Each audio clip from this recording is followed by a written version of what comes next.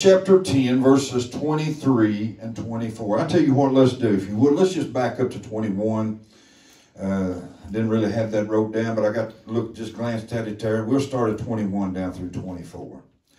The Bible says, having a high priest over the house of God, let us draw near with a true heart and full assurance of faith, having our hearts sprinkled from an evil conscience and our bodies washed with pure water. Listen to what verse 23 says. Let us hold fast, in other words, let us hold firm the profession of our faith without wavering. I like this. For he is faithful that promised. Yes. Right. Amen. Amen. Verse 24, let us consider one another to provoke unto love and to good works. Let's stop there. Father, we come before you tonight. Lord, we thank you. God, we thank you for each one that's here this evening. And Father, we thank you, Lord, just uh, God, for your presence that we know is with us here this evening. And Father, we just thank you, God, for your love that so passes, surpasseth all of our understanding. And God, we thank you, Lord, for your grace and your mercy that helps us uh, in our times of need. Father, we ask you tonight, God, to look upon every heart here this evening and know the needs.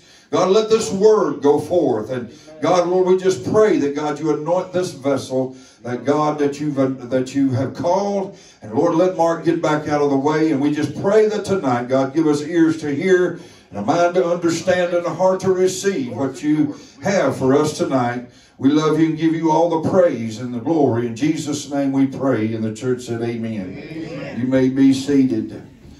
I want to talk to you just a few minutes, if I could, tonight about the need of the Christian perseverance. Yes. Amen. You don't have to acknowledge this question and, and answer this by this, but just a kind of little pro, uh, thought provoking. Most of us, if not all of us, is glad 2020 is gone. Amen. Amen. Amen. That's an understatement if there ever was one. But most of us have probably said, I'm glad 2021 is here. But let me pull back just a little bit. How many of us, when 2019 left and 2020 come in, said, Boy, I'm glad 2019's gone. 2020 got to be a better year. Amen. My idea, my thought there for that is what is going to what going to hold 2021? What's 2021 going to hold for us? Now we hope for better. Certainly we hope that my God don't let no more plagues and all that stuff come in. But we don't know what 2021 is going to hold. We can pray as hard as we want to, and, and I believe that we need to do that, and we need to pray for God to intervene in our country and in our families and all of that. And thank God that we got a God that is greater than anybody else, than any president or governor or anybody else. He's a God that knows all things. But who's to say that 2021 may be a little bit rough too? So my thing is tonight, are we committed, as I was talking about a few minutes ago, are we committed to serving God no matter what comes our way? Well, Are we uh, willing to persevere during these times? Amen. Amen. We look at verse uh, 23 there that I read. He said that, uh, and, uh, let me find my spot here. He said, Let us hold fast or firmly the profession of our faith without wavering.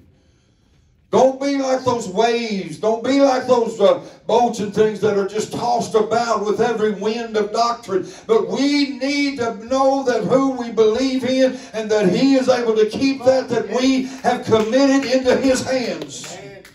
We could see in the previous scriptures what a promise that God has given to us and uh, immeasurable blessings uh, uh, in the privileges that Jesus has secured for you and me. Verse 17 said that their sins and their iniquities will I remember no more. What a promise. Yeah. Thank God. People may bring your things up to you that you used to do. I got a friend one time, uh, he's gone on to be with the Lord. Now we get together, first thing he did, Mark, you remember this. But you know what? God don't remember it, does he? When he washes us clean, I'm glad tonight that he don't know what Mark used to be. He don't remember what it used to be, but thank God he only wants what we are now and where we're headed. He, he don't remember them anymore. Verse 19 said, Have the first four brethren boldness to enter into the presence of God through the blood of Jesus. What a promise. Amen.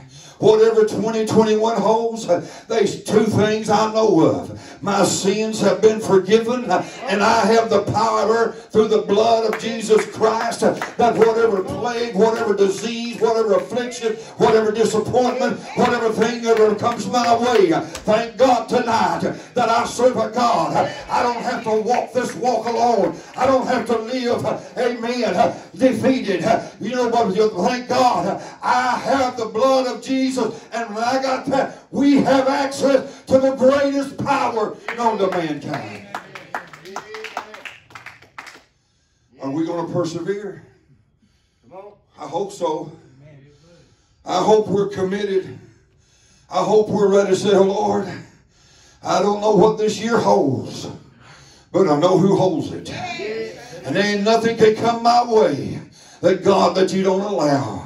Verse 23, but we read there, hold fast the profession of our faith. Amen. The writer of Hebrews has a theme in this chapter as well as in chapter 11, and that is the perseverance in the faith. Let us hold fast the profession of our faith without wavering.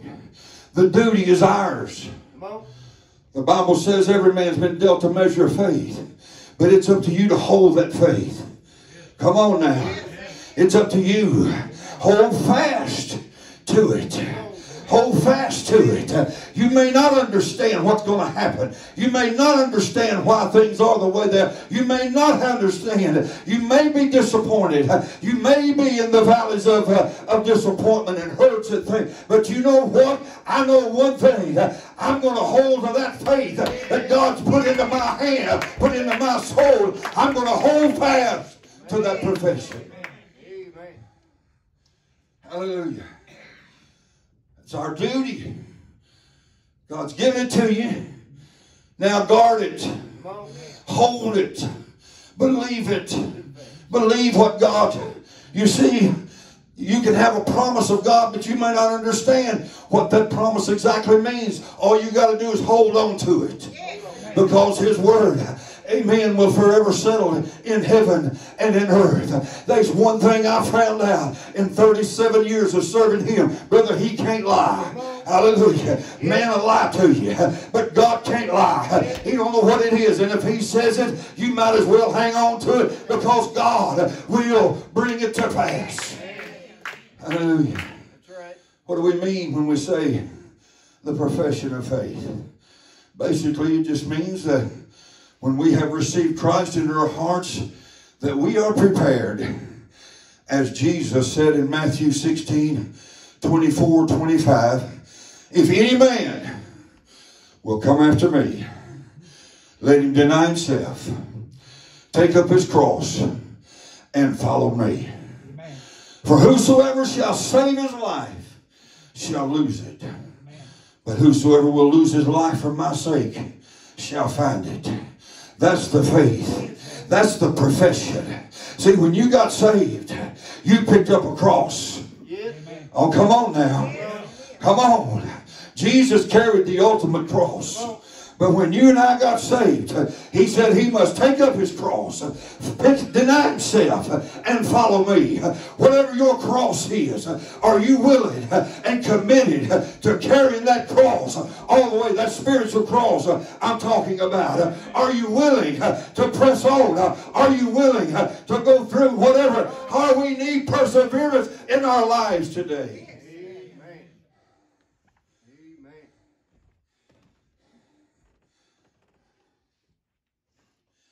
Hallelujah. Hold fast to our faith. It means to continue in and to press forward along the path that we professed that we have entered. God warns us that after we have escaped the pollutions of this world, through the knowledge of our Lord and Savior Jesus Christ, and we again are entangled by the deceptive tricks of the devil or caught up into the trials of temptation in this world, the Bible says the latter end of that person is worse than before. Right. Amen. Don't believe me? I'll give you a scripture. How's that? 2 Peter 2 and 20 21. For after they have escaped the pollutions of the world through the knowledge of our Lord and Savior Jesus Christ, they are again entangled and overcome. The latter end is worse with them than the beginning. For it had been better for them not to have known the way of righteousness than after they have known it to turn from the holy commandment uh, delivered unto them. Let me tell you, it's one thing to make a confession of faith, to admit that you got saved, but it's quite another to hold on to that profession. How there's a lot of people uh, that I've knelt at an altar with uh, and I've prayed through with them. They've given their heart and soul to the Lord and they have made a confession, but they get up and how many of them go out the doors? You never see them again. You never hear them about them coming into the house of God again. Does anybody know what I'm talking about? It's one thing to make a confession. It's another to hold to that confession. Good preaching. You see, 37 years ago, I not only made a confession, 37 years later, I'm holding on to it. Come on, church. Give him a hand if you're holding on to it tonight. I'm beginning to feel something. Oh, does anybody know what I'm talking about? Amen. I'm telling you, the kids can mess up, but you're still going to hold on to that profession. People will lie to you that you thought a whole lot of, but you're still going to hold on to it. Hallelujah. Because the one that cannot lie cannot let me fail. Oh, does anybody hear me tonight? I'm here to tell you, let's hold on to that profession.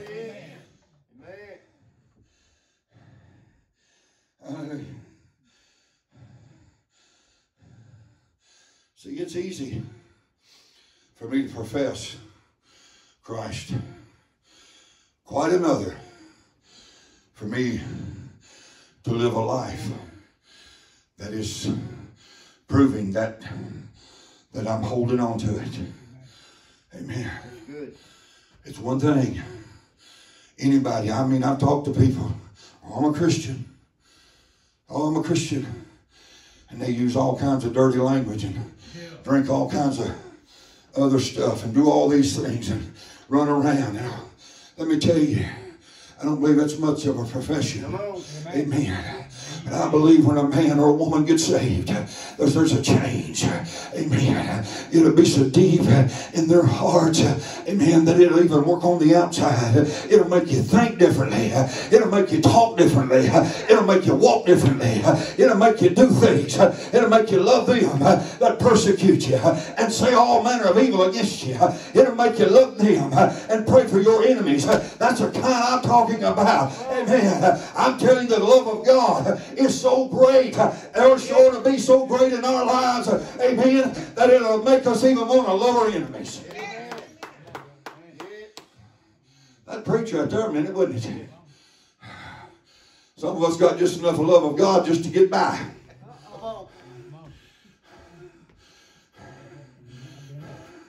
Don't make me say it.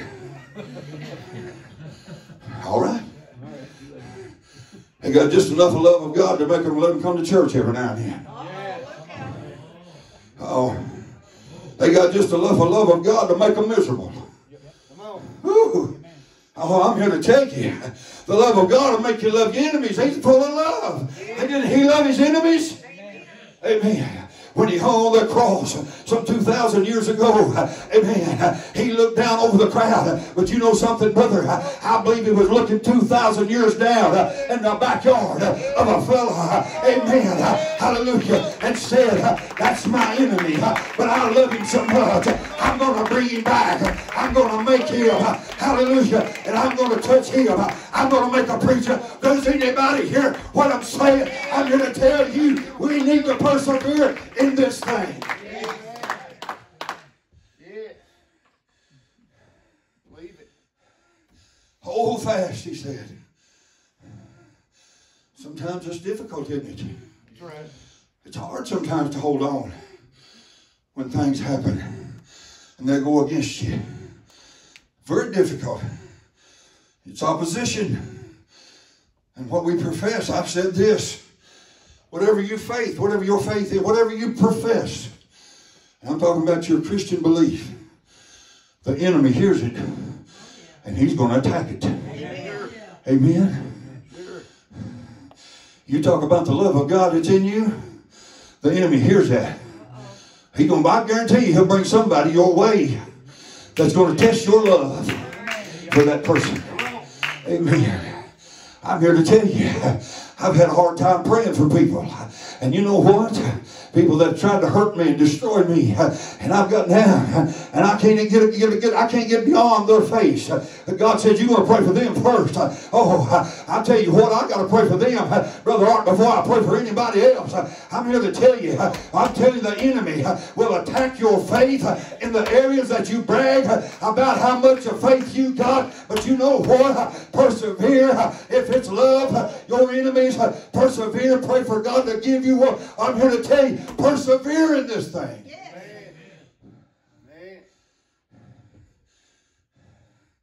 To hold fast means that as Christians we have to put forth our greatest strength and endeavors in the defense of the enemy trying to steal what God's given us. Amen. Hold fast. Amen. Hold fast to it. Because the enemy wants to steal it. He wants to steal peace. He wants to steal joy. He wants to steal the love and the joy and everything that God has. But you have to hold fast to it. I'm not going to tell you when you hold fast that you won't have hurtful times. That you won't have days that, man, you just wish you be glad that day's gone. Most of us are glad 2020, 2020 is gone. Amen. Oh, I remember when the year come in, Brother Gill. We was all excited about it, wasn't we? 2020, man, that's perfect vision, ain't it? Yeah. Huh? Yeah. Woo, my goodness. Yeah. Let me preach out just a minute. I'm getting to feel this now. Oh, 2020, that means perfect vision. It's going to be a golden year. Oh, thank God, it's gone now. Amen. But you know what? We persevered, didn't we? But you know what? And I'm not trying to uh, bring a damper, but you know what? We need to persevere, whether it's 2020 or 2021.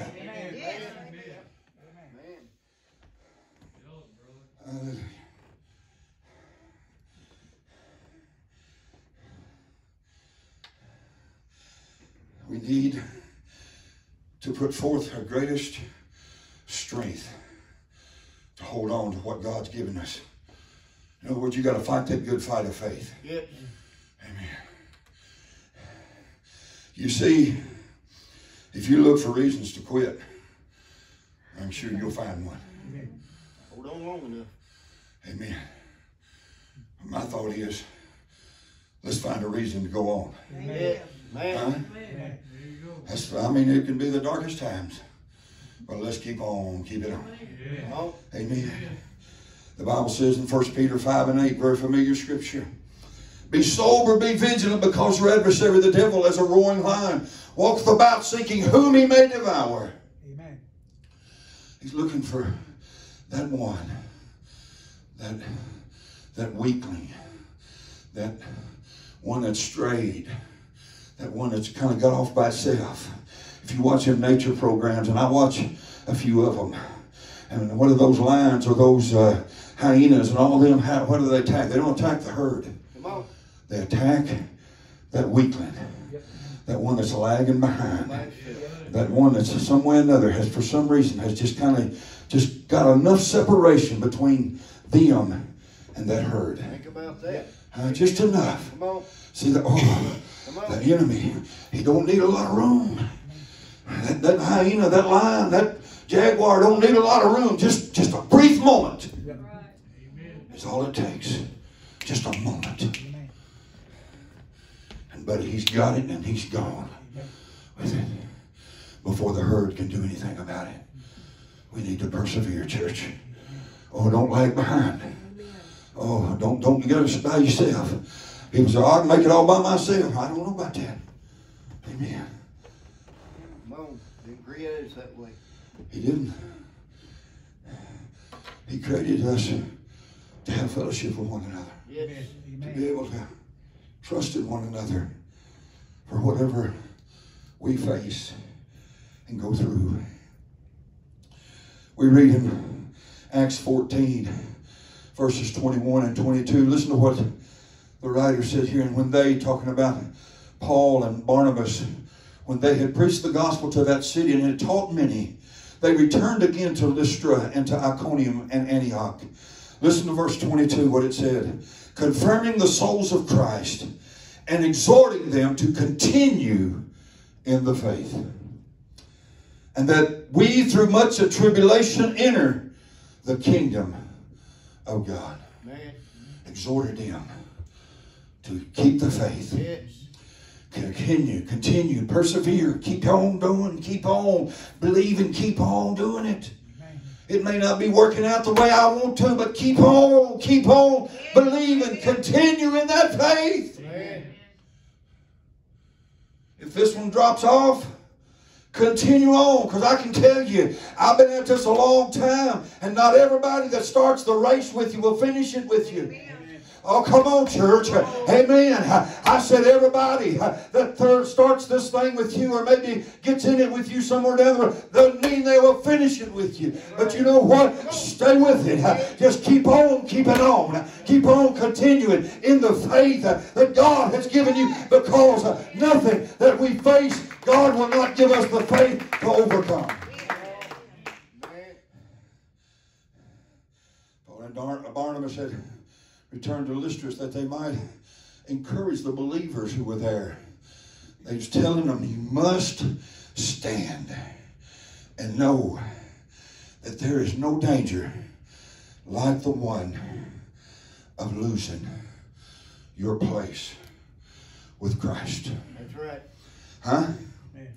There's no advantage like that of keeping their hold onto the faith. The greatest danger that we have is not COVID 19. Come on. The greatest danger that you and I have today is not what's in the White House and what will come into the White House. The greatest danger that you and I have tonight is not what's in the governor's house. It's not in what's outside here. The greatest danger we have is losing what God's given to us. Amen. Let no man take that that God has given to us. Amen. Amen. And Paul and Barnabas was telling them, stand, stand, persevere. Whatever trials you face, get the strength from Christ. Yes. Thank God for brothers and sisters in the Lord that we can go to and we can join hands or whatever and we can join our prayers together. Thank God for that, Brother Gill. Man, we've had to call, Jackie and I have before. Oh, pray for us or our situations and things. Pray for our family. Pray for this. Thank God for all of that. But you know where I'm going to get my majority of my strength? Is I want to have a close enough relationship with my Lord that the power that He has is going to come into Mark Tolson. Amen. And you know what? If He's going to touch me, I've got to be within touching distance. That's right. Come on. Huh? Amen. See, so I can't touch you right now. Amen. I'm not within touching distance. I still can't touch you. I moved a little closer, but now I'm nothing touching distance. Woo! My goodness. I'm here to tell you tonight we want the Lord, but we don't want to be in touching distance. We need to be where He can't touch us. We need to be in the presence where He can touch us. Or we can touch him. That little woman with the issue of blood. Hallelujah. She was at home, but one day heard about a man who come walking down this dusty road uh, and could, if I could just touch him, touch the hem of his garment. I don't have to touch him, but I can touch his garment. And the Bible said she pressed her way through the crowd. She persevered in her relationship and in her desire to get with him. But she had to get to where he was. She had to get to where she could touch him. Do, do you hear me tonight? Hallelujah. We got too many Christians that's lagging behind too far that they can't touch him. Oh, God, help me tonight to not lag behind, but God, help me that I can get close enough that I can touch you.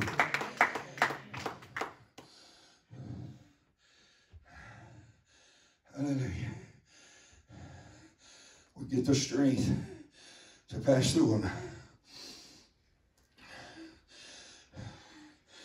I'm going to flip over here real quickly to some scripture.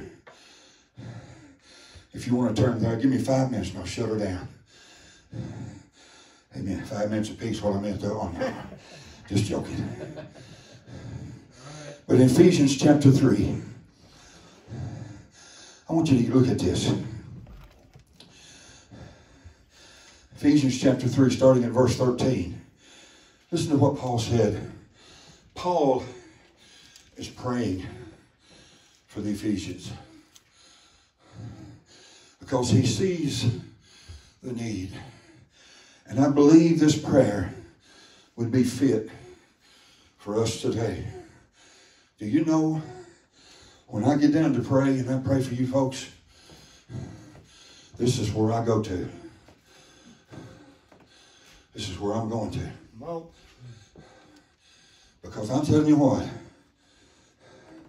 Paul is preach, uh, praying a powerful prayer. Starting at verse 13. Look at it. Ephesians 3 13. Wherefore I desire that you be not, uh, that you faint not at my tribulations for you, which is your glory. For this cause I bow my knees unto the Father of our Lord Jesus Christ, of whom the whole family in heaven and in earth is named. Starting at verse 16, he begins to pray this prayer, this thing, that he, God, would grant you, according to the riches of his glory, to be strengthened with might by his Spirit in the inner man. Yes. What a powerful prayer. Yes.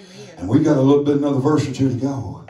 And Paul said, I pray that God, that He, God, would grant you according to the riches of His glory. Amen. To be to strengthen you with might by His Spirit in the inner man, that Christ may dwell in your hearts by faith. Oh my. God, give us a heart of faith. That ye being rooted and grounded in love. You know what keeps us persevering? You know what got you through 2020? Through all everything that's went on?